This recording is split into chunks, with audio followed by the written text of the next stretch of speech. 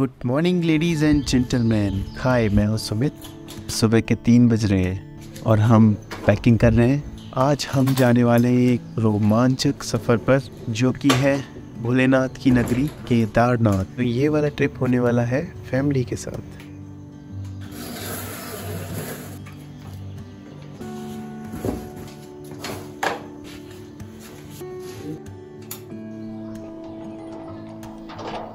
Bike पर हम दो लोग सवार होंगे यानी कि मैं और मेरे पीछे नंदू।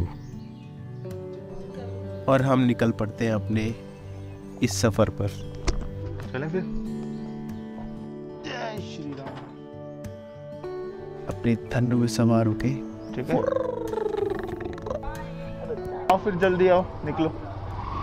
हर महादेव। देखो भाई हम हैं राइडिंग वाले बंदे। तो हम जाने वाले हैं अपनी बाइक से।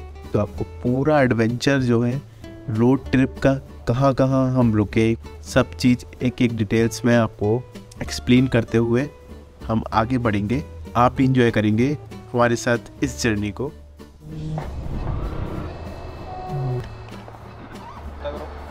आठ सौ का कर देना चलो।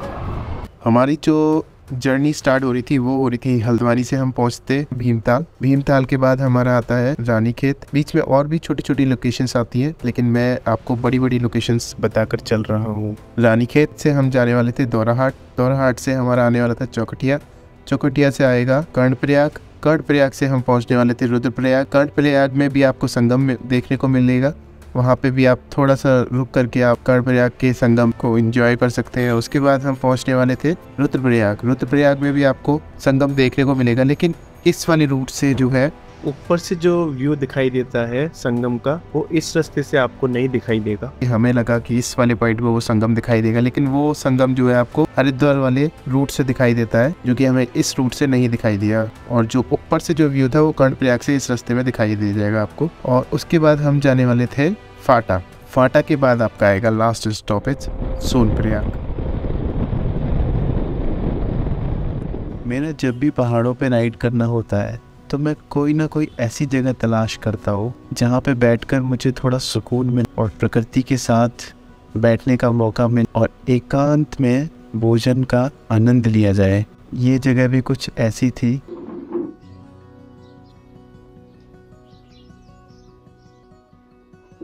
एक हल्की हल्की महसूस करने वाली आवाज़ और चिड़ियों की चहचहाट और सामने से पूरा पहाड़ों की वादियाँ दिख रही थी। दिल को बहुत सुकून मिलता है ऐसी जगह। हम जब ब्रेकफास्ट अपना लंच या डिनर करते हैं तो और फिर लंच करने के बाद खुद को थोड़ी एनर्जी देने के बाद हम निकल पड़ते हैं अपने आगे सफ़र के लिए।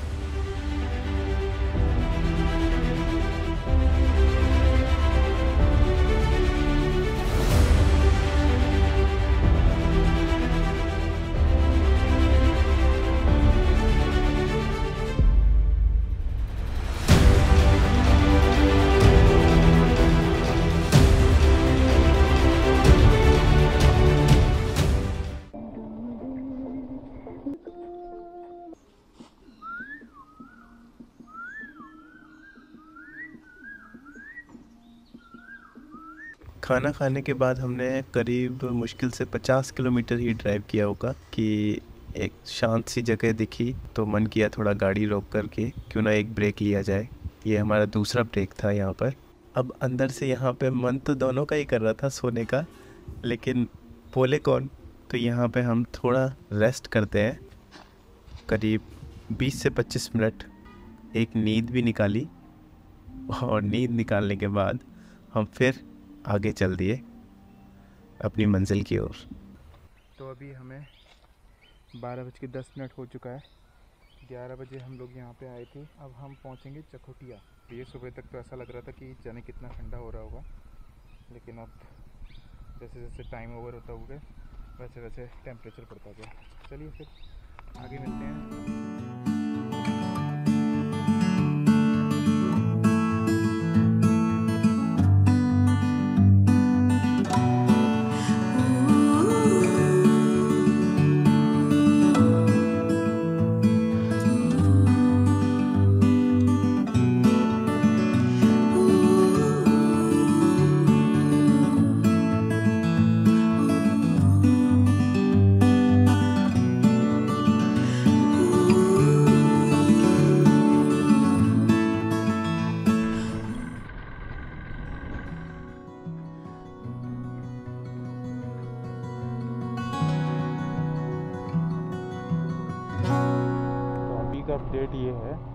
गौचर से निकल चुके हैं।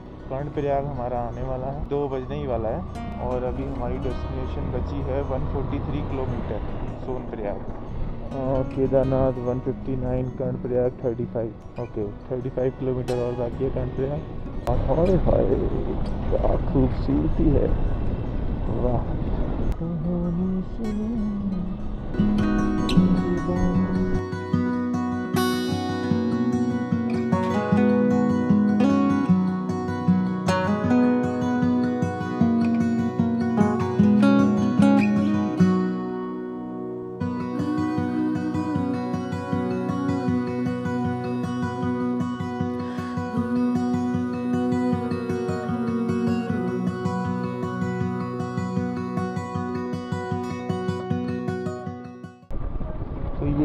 नीचे वाला जो रास्ता है, वो गया है कर्ण प्रयाग के लिए।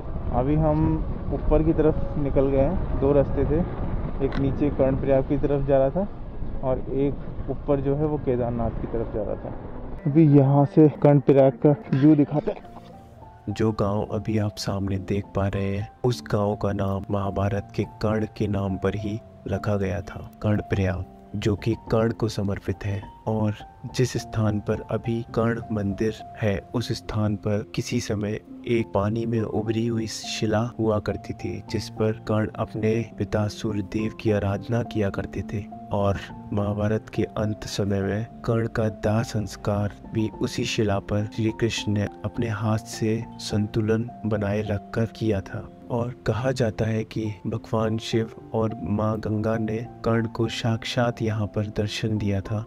कई वर्ष पहले जिस स्थान पर आज कर्ण मंदिर है, वह स्थान कभी जल के अंदर हुआ करता था और केवल एक कर्णशिला नाम का पत्थर जल से बाहर उभरा हुआ था। और यह अलकनंदा और पिंडर नदी का खूबसूरत सा संगम भी है।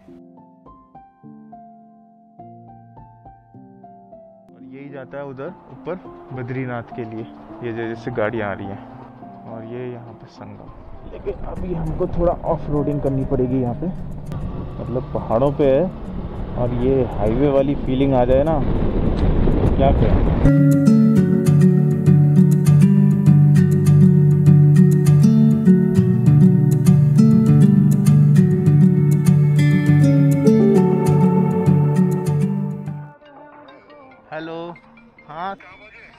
हम पहुँच गए रुद्रप्रयाग आने वाला है ट्वेंटी सिक्स किलोमीटर बाकी है।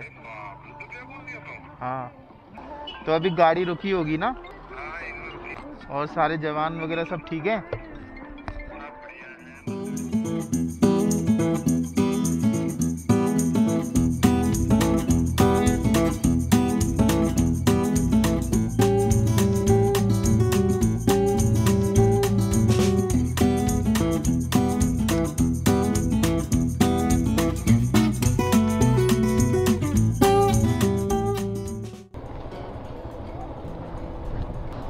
डुबकी लगाओगे?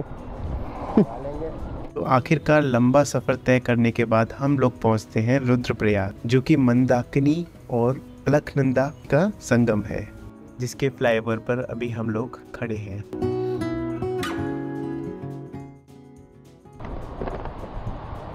कुछ दिखाई नहीं दे रहा भाई।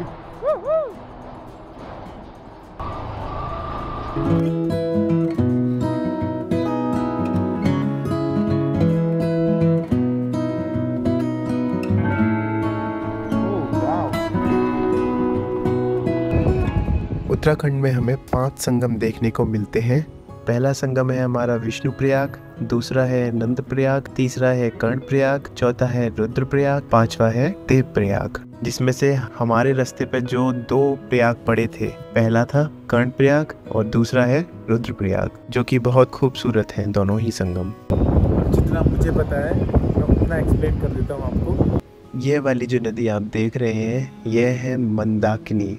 जो कि बहुत ही मंद मंद चलती है, जो केदारनाथ मंदिर के बगल से होती हुई रुद्रप्रयाग संगम तक अलखनंदा नदी से आके मिल जाती है और ये दोनों नदी देव प्रयाग पर जाकर भागीरथी नदी से मिल जाती है और फिर इस संगम के आगे की यह संयुक्त नदी माँ गंगा कहलाती है।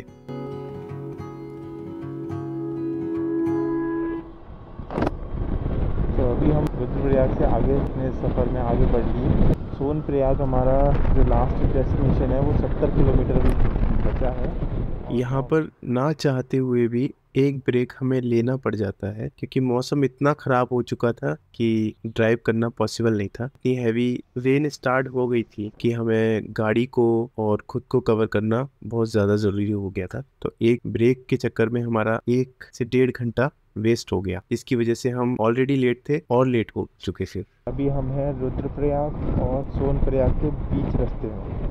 जहाँ से हमारी जो जहाँ पे हमें स्टे करना है होटल करीब पचास किलोमीटर। पता नहीं आपको दिख पा रहा होगा कि नहीं लेकिन नदी पे जो चमक पड़ रही है लाइट की मतलब ऐसा लग रहा है जैसे मैं गंगा नदी के किनारे किनारे चल रहा हूँ। अभी रोड तो एकदम मतलब सुबह अल्लाह कहाँ गड्ढा आ जाए कुछ पता नहीं। किस गड्ढे में घुस जाए टायर कब डिसबैलेंस हो जाए कह नहीं सकते। इधर है इधर हाँ, वाह क्या शानदार रोड हुई है भाई। भाई के कहीं के मारे कहीं जा रही है। अरे चढ़ जा चढ़ जा चढ़ जा। अरे वाह धन्यवाद। अरे ये होटल नहीं आ पा रहा है। मतलब आखिरी के जो आप पर होता है ना, वो इतना हार्ड हो जाता है। और फिर जहाँ पे रोड इतनी अच्छी मिल जाए तो फिर तो क्या ही बात है। अभी का टाइम हो रहा है, नौ बज के चालीस मिनट।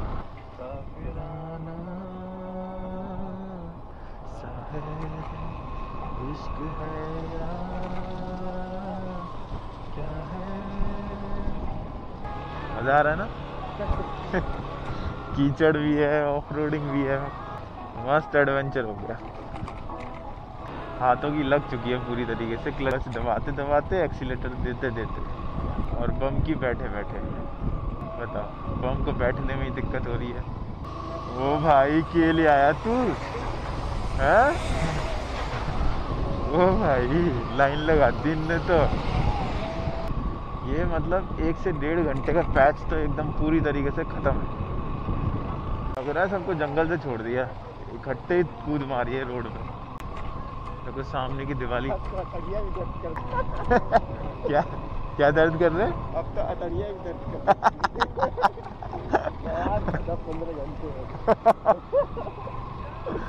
पाँच बजे से ड्राइव कर रहे हैं। खत्म होने का नाम नहीं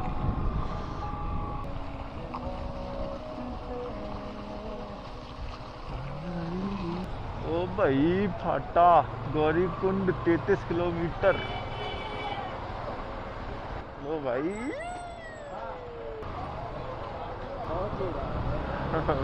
ग्यारह बज के बाईस मिनट हो चुका है। ग्यारह किलोमीटर अभी बाकी बजेगा। बारह बजे हम अपने रूम में चेक इन करेंगे। फाइनली पहुँच गए। बारह बजे। टाइम दिखाते हैं टाइम टाइम क्या टाइम हो गया? बारह बज के बीस मिनट होने वाला है। ऐसा लग रहा है जैसे कि अभी आठ नौ बज रहा होगा। ये घड़ी सही चल रही है। अभी बारह बज के बीस मिनट हो चुका है रात के। और सुबह पाँच बजे उठ के हमें ट्रैक पे भी जाना है। चलिए। अब थोड़ा फ्रेश होते हैं, खाना खाते हैं, फिर उसके बाद सोते हैं और फिर मिलेंगे कल सुबह और आगे की कहानी कल सुबह बताते हैं। Okay good night bye bye